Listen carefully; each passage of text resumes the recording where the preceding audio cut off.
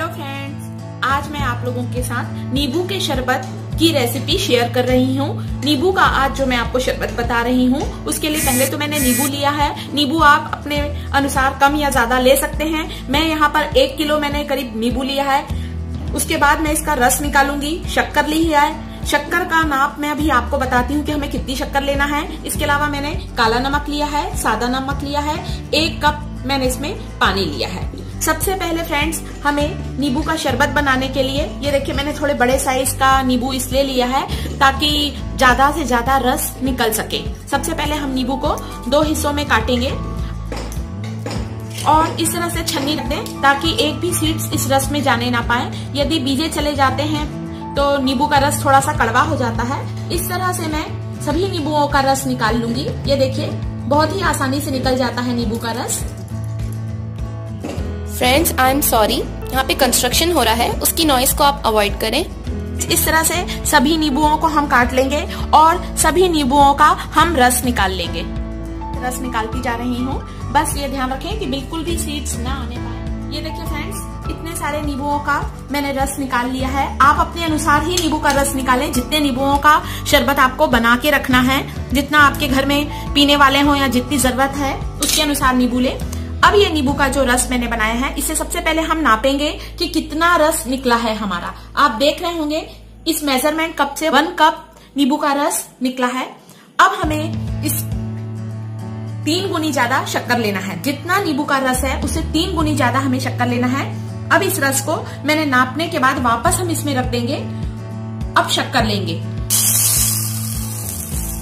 ये देखिए अब हमें तीन कप शक्कर लेना है। एक कप नींबू का रस, तीन कप शक्कर। तो जब भी हम शरबत बनाएँगे फ्रेंड्स तो हमें बिल्कुल भी शक्कर इसमें ऐड नहीं करना पड़ेगा। ये देखिए, दो कप शक्कर ले रही हूँ मैं।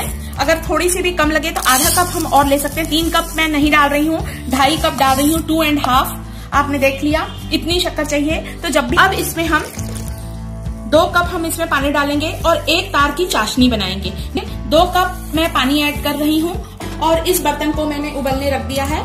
फिर हमें एक तार की चाशनी बनाना है। इसे बीच बीच में हम हिलाते रहें तो नींबू के मीठे शरबत की रेसिपी आपके साथ शेयर कर रही हूँ। परंतु यदि बहुत से लोग शक्कर खाना पसंद नहीं करते हैं, सिर्फ़ हमें नींबू का रस प्रिजर्व करके रखना है तो ये रस जो मैंने अभी निकाला है, उसमें हम एक बड़े चम्मच भर के नमक डालेंगे, काला नमक और सादा नमक। और इस रस को हम छह महीने तक के प्रिजर्व करके रख सकते हैं। या ये हमारा नींबू का नमकीन रस या नमकीन शरबत बनकर तैयार हो जाएगा। तार की चाशनी बनने तैयार है। ये देखिए, खूब अच्छी तरह से हमारी चाशनी उबल चुकी है। अब इसे हम ठंडा करेंगे और ठंडा करने के बाद गैस बंद कर रही हूँ मैं। अभी चाशनी हमारी बहुत गर्म है। जब यह बिल्कुल ठंडी हो जाएगी उसके बाद मैं ये लेमन जूस इसमें ऐड करूँगी। यदि मैं गरम चाशनी में लेमन जूस डालूँगी तो नींबू का शरबत हमारा कड़वा हो सकता है। छिलके हैं, हम इसे बिल्कुल ना फेंकें। मेरी अगली जो रेसिपी आ रही है, उसमें मैं आपको नींबू के छिलकों का ही अचार बनाना बता रही हूँ। हो चुकी है। आप देख रहे होंगे इसका गाढ़ापन। ये देखिए, मैं एक बार आपको फिर से दिखाती हूँ। इतनी गाढ़ी हमारी चाशनी होना चाहिए, तभी हमारा नींबू का शरबत साल भर तक के टिक सकता है। अब मैं इसमें नींबू का रस इस ठंडी चाशनी में ऐड कर रही हूँ। ये हमारा नींबू का शरबत बनकर बिल्कुल तैयार है। इसे अच्छी तरह से मिक्स करें।